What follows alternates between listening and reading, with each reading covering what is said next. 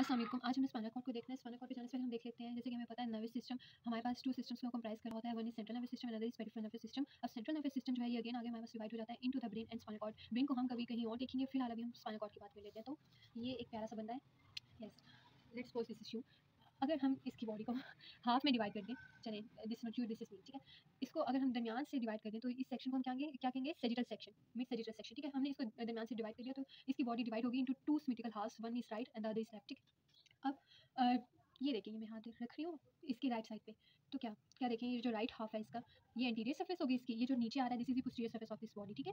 या posterior border या posterior surface जो भी, ये एंटीरियर सरफेस है नीचे वाली पोस्टीरियर सरफेस है। अगर मैं इसको, इस सेक्शन को उठा के ऐसे ले आऊँ तो क्या होगा? एंटीरियर सरफेस यहाँ इस साइड पे चली गई पोस्टीरियर सरफेस यहाँ आ गई और ये हमारे पास मीडियर सर्फेस एक्सपोज हो गई जहाँ से हमने इसको कट किया था, ठीक?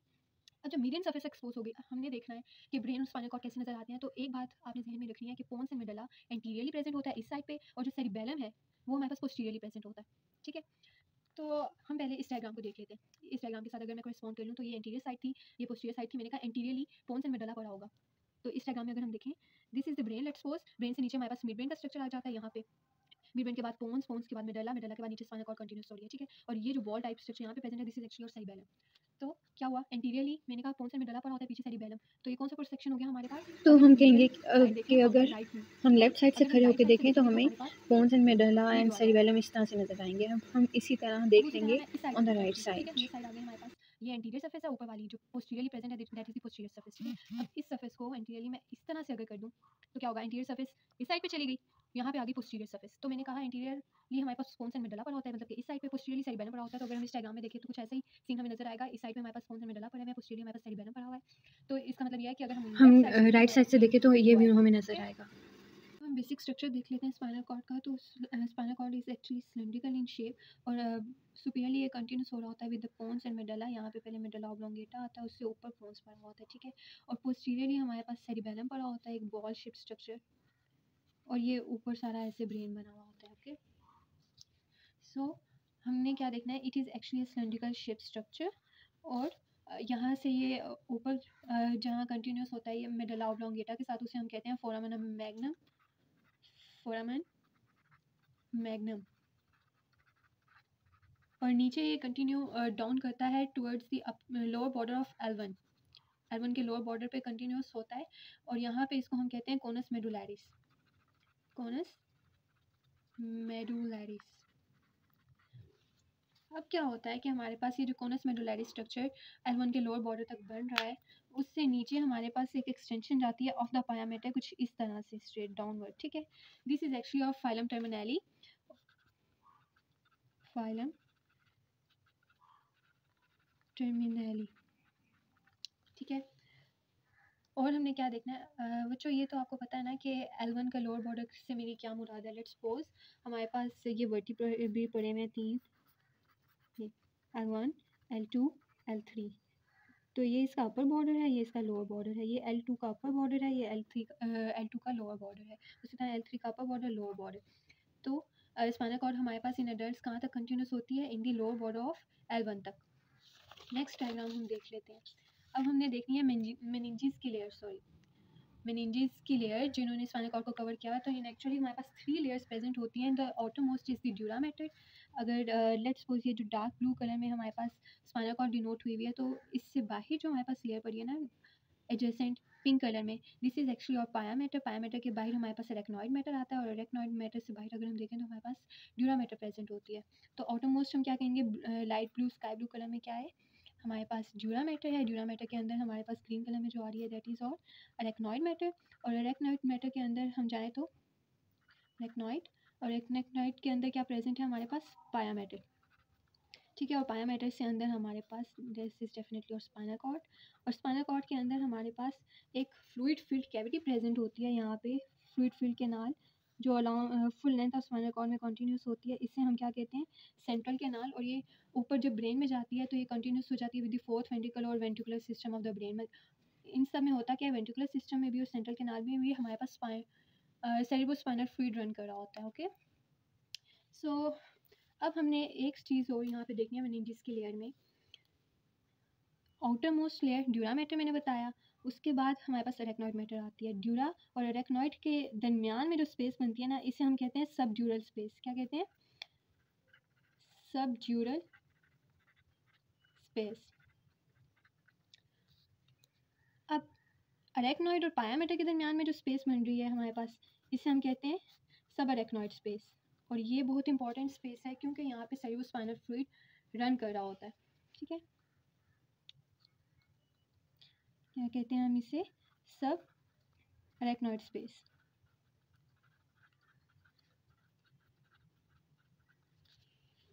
ओके फिर एक और स्ट्रक्चर हम यहाँ पे देख लेते हैं डेंटिकुलेट लिगामेंट जो हमारे पास इनर मोस्ट लेयर है ना, जिसे हम पाया पायामेटा कहते हैं मिनिंजिस की लेयर जो कवर कर रही है, ये हमारे पास पाना कॉर्ड थी ब्लू कलर में, इससे आउटवर्ड ये जो पिंक कलर में हमारे पास पाया पायामेटा है, इससे समवट ट्रायंगुलर शेप स्ट्रक्चर निकल रहे होते हैं, इस तरह से लिगामेंट और वो जाके कनेक्ट करता है विद ड्यूरा मैटर ठीक है? इस तरह से ये एक ट्रायंगुलर शेप स्ट्रक्चर्स बन होते हैं बायोलेटरली साइड पे भी प्रेजेंट है, इस साइड पे भी प्रेजेंट होते हैं। इनसे क्या होता है? They actually provide support to the spinal cord spinal cord को वर्टिबल कॉलम के साथ जब ये कनेक्ट कर देंगे तो एक्चुअली सपोर्ट प्रोवाइड कर रहे होते हैं, ठीक है? ये तो हमने एक्सटर्नल फीचर्स देख लिए स्पाइनल कॉर्ड के। अब हम देख लेते हैं इंटरनल स्ट्रक्चर हमें कुछ इस तरह से स्पाइनल कॉर्ड नज़र आता है। जैसे कि बचपन से हम इतना पढ़ के आए हैं एफ़ में कि हमारे पास ये स्पाइनल कॉर्ड का स्ट्रक्चर प्रेजेंट है, दरमियान में एच शेप ग्रे मैटर होता है ग्रे मैटर के आउटसाइड हमारे पास वाइट मैटर प्रेजेंट होता है। तो इस डायग्राम में अगर हम देखें रफ सी डायग्राम है, लेकिन ये जो हमारे पास एच शेप या बटरफ्लाई शेप जो स्ट्रक्चर प्रेजेंट है this is actually grey matter ठीक है? ग्रे मैटर के आउट साइड ये जो सरफेस है, ये सारी हमारी वाइट मैटर है और वाइट मैटर ये स्पाइनल कॉर्ड की बाउंड्री आ गई, ठीक है? होता क्या है? एंटीरियरली हमारे पास एक ये फिशर बन रहा होता है, ये डीप फरो ये देख रहे हैं इतना गैप है इसमें। This is actually anterior median fissure क्या कहते हैं इसको? एंटीरियर मीडियन मीडियन क्योंकि दरमियान में फिशर ठीक है? और पोस्टीरियरली हमारे पास एक बहुत स्लाइड सा डिप्रेशन होता है, इसको हम कहते हैं पोस्टीरियर मीडियन सर्कस ये याद रखना है कि एंटीरियरली जो प्रेजेंट है, उसे एंटीरियर मीडियन फिशर कहते हैं, जो पोस्टीरियर प्रेजेंट होगा, उसे हम कहेंगे पोस्टीरियर मीडियन क्या? सर्कस, ठीक है? अब होता क्या है कि वेरियस कनेक्शंस यहाँ पे बन रहे होते हैं grey matter white grey matter में सॉरी ये रूटलेट्स होते हैं, जिसके थ्रू स्पाइनल नर्व्स निकलती हैं और यहाँ पे स्पाइनल नर्व्स एंटर होती हैं, ठीक है? इन रूटलेट्स के थ्रू कम्युनिकेशन हमारे पास हो रहा होता है। तो जो नर्व्स यहाँ से अराइज करेंगी पोस्टीरियरली हम अगर देखें पोस्टीरियरली हमारे पास नर्व्स अराइज होती हैं, यहाँ से निकली इस रूटलेट से। निकल के, यहाँ पे हमारे पास ये क्या स्ट्रक्चर प्रेजेंट है? This is actually dorsal root ganglion और यहाँ पे पोस्टीरियर जो ग्रे मैटर है, उसकी सेल बॉडीज़ पड़ी होती हैं, ठीक है? डॉर्सल रूट हॉर्न की सेल बॉडीज़ पड़ी होती हैं। और यहाँ से हमारे पास एंटीरियर फाइबर्स निकल रहे हैं। ओके एक चीज़ बहुत इंपॉर्टेंट हमने यहाँ पे देखनी है कि हम, हमारे पास जो है ना फाइबर्स जो अराइव करते हैं, हम सारी बॉडी से फाइबर्स अराइव करते हैं स्पाइनल कॉर्ड में, वो यहाँ से आते हैं डॉर्सल रूट से, ठीक है? यहाँ से आते हैं और जो फाइबर स्पाइनल कॉर्ड से लीव करते हैं, टूवर्ड्स द बॉडी जाते हैं, वो यहाँ से वेंट्रली जाते हैं, ओके? इनको याद रखने के लिए एक एक नहीं बल्कि दो निमोनिक्स हैं मेरे पास, जो आप, एक हम याद रखेंगे, सेम डेव। सेम डेव क्या है? सेंसरी एफरेंट मोटर डिफरेंट, यहाँ पे अगर लिखूँ मैं। जी तो sensory afferent S A M E sensory afferent motor efferent okay? उसी तरह डेव, डॉर्सल, एफरेंट, वेंट्रल, इफरेंट। अब अगर यहाँ पे मैंने ये दरमियान में लाइन ड्रॉ कर दिया तो देखेंगे जो डॉर्सल रूट है ना हमारे पास, ये वाला। This is actually sensory and afferent sensory मतलब कि हमारे पास जो बॉडी के एक्सटर्नल ऑर्गन्स हैं सेंसेशंस लेके जाता है वहाँ से, ठीक है? एक तो सेंसरी है और दूसरा एफरेंट है मतलब कि फ्रॉम द पेरीफ्री सिग्नल्स को लेके जाता है टुवर्ड्स द स्पाइनल कॉर्ड और अगर हम देखें ये वाले वेंट्रल मोटर इफरेंट तो जो हमारे पास वेंट्रल रूट है ना दिस इज़ एक्चुअली मोटर मतलब कि यहाँ से स्पाइनल कॉर्ड से सिग्नल्स जाते हैं टुवर्ड्स स्पेसिफिक बॉडी पार्ट और वहाँ से वो इफ़ेक्ट जनरेट होता है मतलब कि एज ए इफेक्टर देन वो काम करते हैं। तो ventral as a motor and efferent system काम करता है। अब हम दोबारा इस स्ट्रक्चर को देख लेते हैं। होता क्या है इसमें? ग्रे मैटर था ग्रे मैटर से ये सिग्नल्स निकले हैं। सिग्नल्स यहाँ से निकला हमारे पास वेंट्रल सॉरी, डॉर्सल रूट से यहाँ से वेंट्रल रूट निकला। यहाँ पे डॉर्सल रूट गैंग्लियन पर होता है, जहाँ पे सेल बॉडीज़ की एक्यूमुलेशन होती है ऑफ़ द डॉर्सल रूट। और फिर यहाँ से जब फाइबर्स आते हैं, ये दोनों आपस में मर्ज करते हैं। जब मर्ज करते हैं तो यहाँ पे ये जो स्ट्रक्चर है ना, यहाँ पे ट्रंक बनता है। Trunk of the spinal nerve और इस ट्रंक से फिर आगे दोबारा डिवीज़न होती है। एक हमारे पास डॉर्सल साइड पे चला जाता है। और ये हमारे पास वेंट्रली आ जाता है। जो डॉर्सली चला जाएगा उसे हम कहेंगे डॉर्सल प्राइमरी रेमस और जो वेंट्रली आ जाएगा उसे हम कहेंगे वेंट्रल प्राइमरी रेमस। यहाँ पे एक बात नोट करने वाली ये है कि जो हमारे पास वेंट्रल प्राइमरी रेमस है ना this is actually somewhat more thick than the dorsal primary ramus अब ये जो डॉर्सल प्राइमरी रेमस है, ये जाके डॉर्सल बॉडी पार्ट्स मतलब डॉर्सल मसल्स को और और जो ओवलिंग स्किन है, उसको सप्लाई करेगा। और जो हमारे पास वेंट्रल प्राइमरी रेमस है, ये एक्चुअली सप्लाई करता है किसे? जो वेंट्रल बॉडी मसल्स हैं एंड ओवरलिंग स्किन उसको। इस डायग्राम में अगर हम देखें तो ये हमारे पास बेसिक जो एच शेप या बटरफ्लाई शेप स्ट्रक्चर बन रहा है। दिस इज़ एक्चुअली और ग्रे मैटर सारा। दरमियान में ये जो चीज़ प्रेजेंट है दिस इज़ और सेंट्रल कैनाल जिसमें से सी एस एफ़ रन कर रहा होता है, ठीक है? ये कंटिन्यूस होता है central canal all along spinal cord spinal cord के शुरू से लेकर एंड तक ये C S F filled cavity central canal present होती है, ठीक है? अब ये कहाँ पे प्रेजेंट है एक्चुअली? यहाँ पे एंटीरियर हॉर्न्स हैं हमारे पास ऑफ़ द ग्रे मैटर, ये पोस्टीरियर हॉर्न्स हैं ऑफ़ द ग्रे मैटर और इनके दरमियान में ये प्रेजेंट है सेंट्रल कैविटी और ये कम्युनिकेट कर रहे होते हैं यहाँ पे anterior and posterior grey matter इस एरिया में। तो सेंट्रल केनाल के एंटीरियरली जो एरिया यहाँ पे प्रेजेंट है ना this is anterior grey commissure और जो पोस्टीरियरली सेंट्रल केनाल के पोस्टीरियरली एरिया प्रेजेंट है that is the posterior grey commissure अगर मैं किसी और कलर में ड्रॉ करूँ, आपको समझ आइए सेंट्रल केनाल थी। इसके एंटीरियरली ये जो एरिया है that is anterior grey commissure इसके पोस्टीरियर जो एरिया है that is posterior grey commissure इस डायग्राम में हमने एक बहुत इंपॉर्टेंट स्ट्रक्चर देखना है। उससे पहले हम वही बात कर लेते हैं स्पाइनल कॉर्ड प्रेजेंट है that is cylindrical in shaped और इस it has a tapering end मतलब इस तरह से ये एंडिंग इसकी होती है टेपरिंग एंड इसको कहते हैं, ठीक है? टेपरिंग एंड होता है उससे नीचे हमारे पास एक ये ब्लैक कलर में आपको नज़र आ रही होगी एक्सटेंशन जाती है ऑफ़ द पायामीटर जो कि एल वन यहाँ पे spinal cord lower border of L one पे ख़त्म होता है ना तो वहाँ से ये शुरू होती है और जाती कहाँ है? To the tip of coccyx जो लास्ट वन है ना हमारे पास वर्टिब्री वहाँ पे जाता है टिप ऑफ़ कोकेक्स तक। सो so, अब होता ये है कि यहाँ पे कोनस मेडुलारिस से, जहाँ पे एल के लेवल पे स्पाइनल कॉर्ड खत्म होती है, उसे कोनस मेडुलारिस कहते हैं, वहाँ से हमारे पास cranial and sacral nerves emerge out करती हैं वो इस तरह से एक्सपेंड कर जाती हैं। ठीक है? Like you can say horse tails जिस वजह से हम इस स्ट्रक्चर को क्या कहते हैं? The structure present in green is cauda equina cauda equina अब हमने क्या देखना है? ग्रे मैटर और वाइट मैटर क्या होते हैं? तो grey matter is actually the collection of cell bodies of neuron होता क्या है? न्यूरॉन का स्ट्रक्चर हमने पढ़ा हुआ ये न्यूरॉन का स्ट्रक्चर है। ये जो दरमियान में बॉडी से नज़र आ रही है दिस इज़ सेल बॉडी ठीक है? यहाँ पे न्यूक्लियस पर हुआ है सेल बॉडी से। हमारे पास दो प्रोसेसेस निकलते हैं। एक प्रोसेस तो डाउनवर्ड मूव कर जाता है ऐसे। दैट इज़ एक्जॉन और सेल बॉडी से हमारे पास वेरियस प्रोजेक्शंस निकल रही होती हैं माइन्यूट प्रोजेक्शंस वेरियस ठीक है? These are actually dendritic processes तो अब ग्रे मैटर क्या है? This is actually the collection of cell bodies ये जो दरमियान वाला एरिया है इनकी कलेक्शन होती है तो हम कहते हैं दैट इज़ वो मिलके ग्रे मैटर बनाती हैं और इनके जो प्रोसेसेस होते हैं, एक साइड पे एक्सॉन्स और ये डेंड्राइट्स ये मिलके क्या बनाते हैं? वाइट मैटर ठीक है? अब हमने ग्रे मैटर और वाइट मैटर को डिटेल में डिस्कस करना है। तो ग्रे मैटर में हमने कौन कौन से पार्ट्स देखने हैं? Anterior posterior and lateral grey matter अभी ये लैटरल ग्रे मैटर कहाँ से आ गया? हमने तो सिर्फ़ एंटीरियर पोस्टीरियर ग्रे मैटर पढ़े ऐसे है ना? होता यह है कि हमारे पास in this cervical and lumbar region में ग्रे मैटर uh, में लैटरल इन्लार्जमेंट्स भी प्रेजेंट होती हैं। लेटरल हॉर्न बना रहा होता है। ये क्यों बनाता है? क्योंकि एक्चुअली हमारे पास जो अमाउंट ऑफ़ ग्रे मैटर है ना that is directly proportional to area of muscles या नंबर ऑफ़ मसल्स सप्लाइड तो सर्वाइकल और लंबर रीजन में हमारे पास लिम्स प्रेजेंट होते हैं सर्वाइकल रीजन में हमारे पास अपर लिम्स होते हैं लंबर रीजन में हमारे पास लोअर लिम्स प्रेजेंट होते हैं। तो हमें वहाँ पे जो नर्व सप्लाई चाहिए ना, उसके लिए ज़ाहिर है जब नर्व सप्लाई हमें ज़्यादा चाहिए तो हमारे पास ग्रे मैटर भी ज़्यादा हो जाएगा। जब ग्रे मैटर ज़्यादा होगा तो क्या होगा? पहले तो बात हम ये देख लेते हैं कि हमारे पास जो स्पाइनल कॉर्ड का स्ट्रक्चर है ना, मैंने आपसे कहा था कि कुछ ये सिलेंड्रिकल शेप स्ट्रक्चर होता है। ठीक है? ठीक कहा था।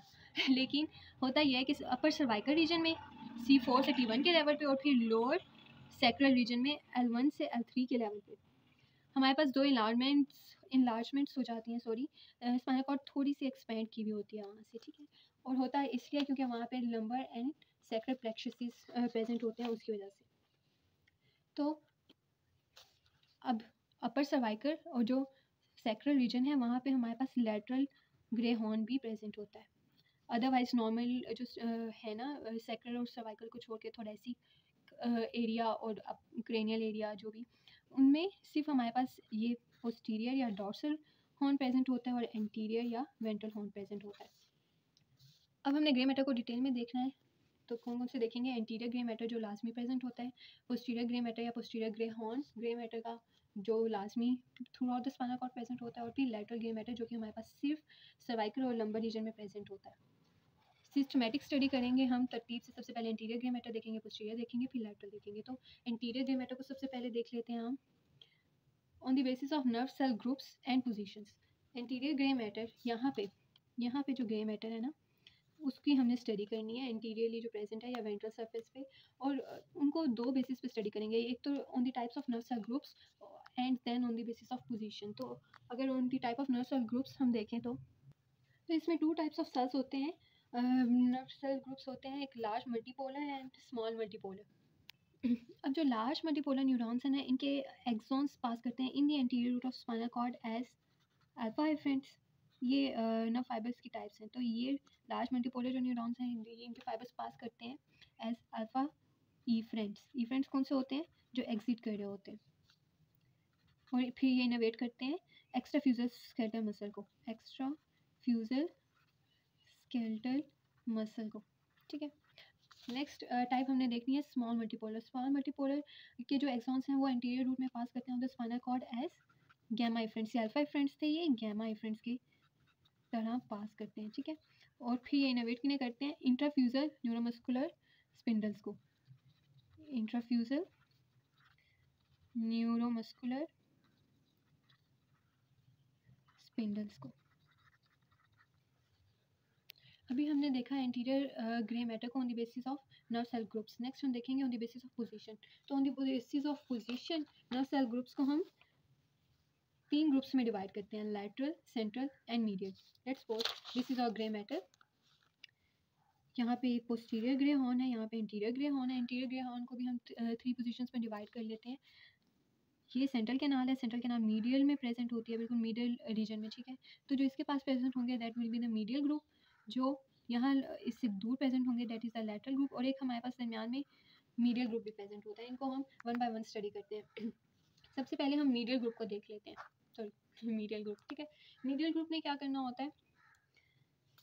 ये मीडियल ग्रुप है। ये इनोवेट करता है हमारे नेक के मसल्स को, ठीक है?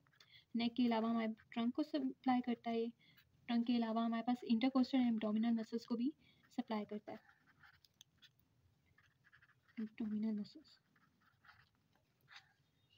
अच्छा यहाँ पे एक और बात मैं आपको बताती चलूँ कि ए फ्रेंड्स और ए फ्रेंड्स को याद रखने का क्या तरीका है? ए से ए फ्रेंड जो अराइव कर रहे होते हैं ए से ए फ्रेंड ए से अराइव्स ठीक है?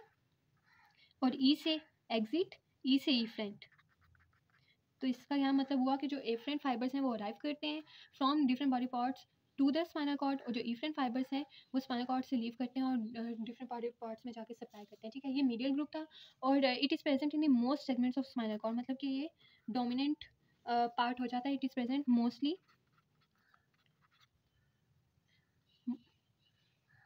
so so, अब हम देख लेते हैं लेटरल ग्रुप लेटरल ग्रुप जैसे हमने पहले बात की थी ये सिर्फ़ upper cervical and lumbar region में प्रेजेंट होता है तो लेटरली प्रेजेंट है अपर सर्वाइकल और लोअर रीजन में और ये लिम्स को सप्लाई कर रहा होता है। हमारे पास जो अपर लिम्स और लोअर लिम्स हैं, उनको ये सप्लाई करता है upper limb and lower limb.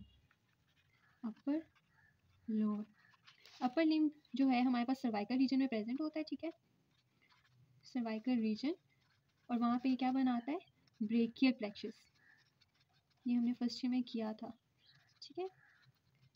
Brachial प्लेक्शस बनाता है और लोअर लिम जो है, ये सेक्रल रीजन में हमारे पास लम्बो सेक्रल प्लेक्शस बना होता है। कौन सा प्लेक्शस लम्बो सेक्रल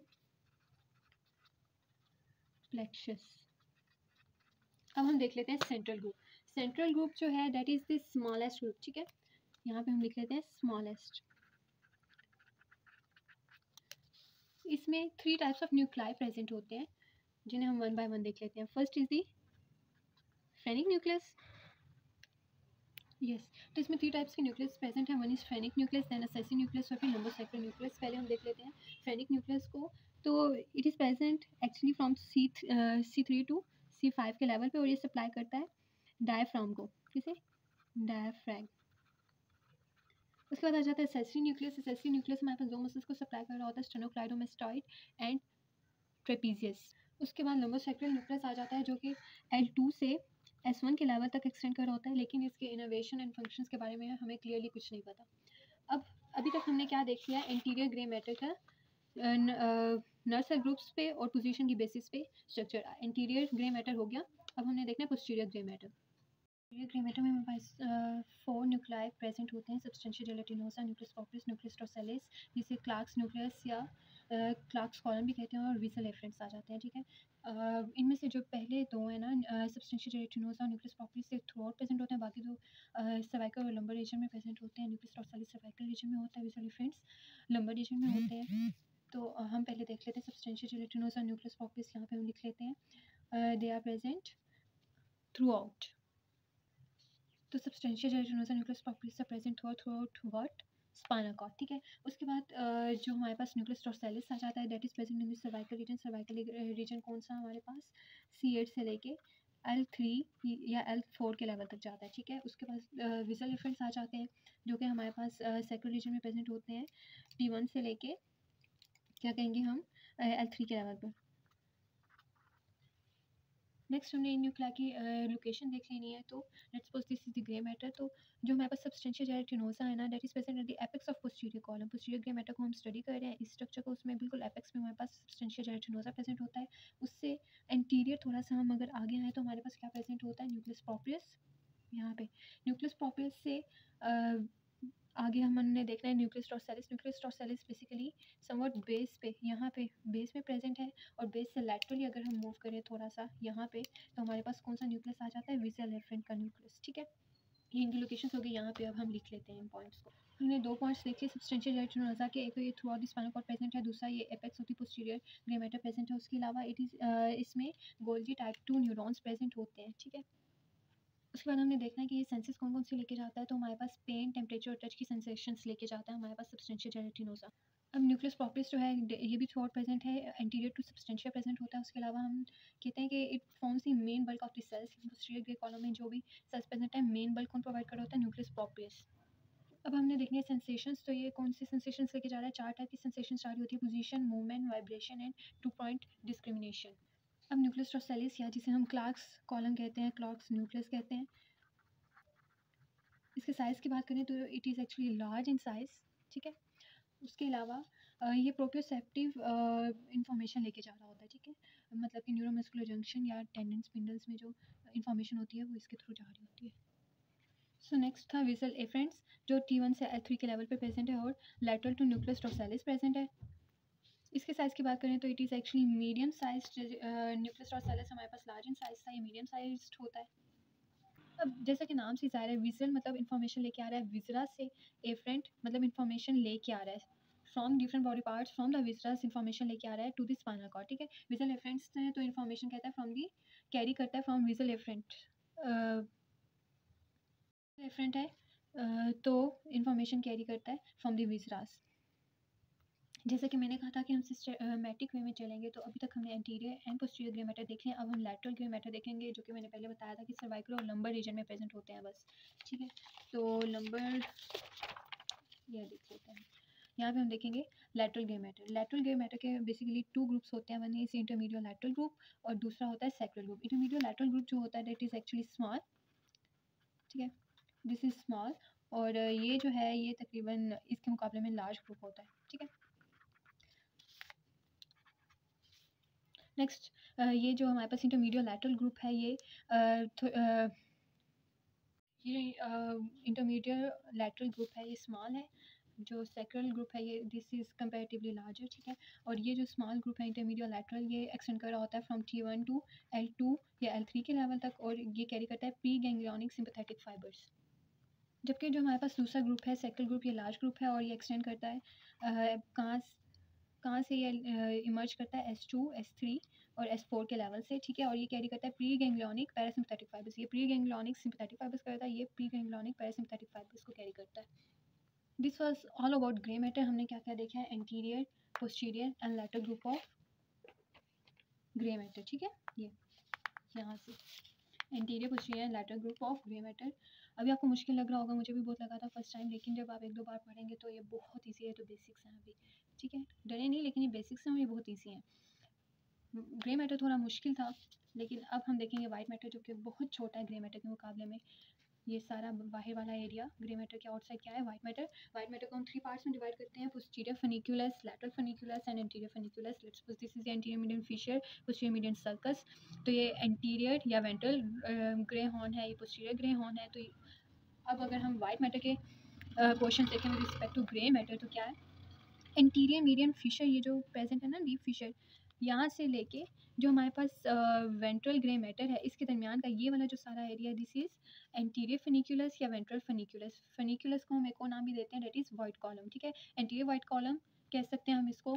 और यहाँ से अब ये पोस्टीरियर ग्रे मैटर का हॉर्न पड़ा हुआ है पोस्टीरियर ग्रे हॉर्न है या एंटीरियर ग्रे हॉर्न है इसके दरमियान का जो एरिया है इसे हम कहते हैं लेटरल फनिकुलस या लेटरल ग्रे कॉलम और डॉर्सल मीडियम सर्कस ये चीज़ यहाँ से लेके जो हमारे पास पोस्टीरियर या डॉर्सल ग्रे हॉर्न बन रहा है, इसके दरमियान का जो एरिया है, ये सारा हम क्या कहते हैं? पोस्टीरियर फनिकुलस अब हम देख लेते हैं कंटेंट्स वाइट मैटर के।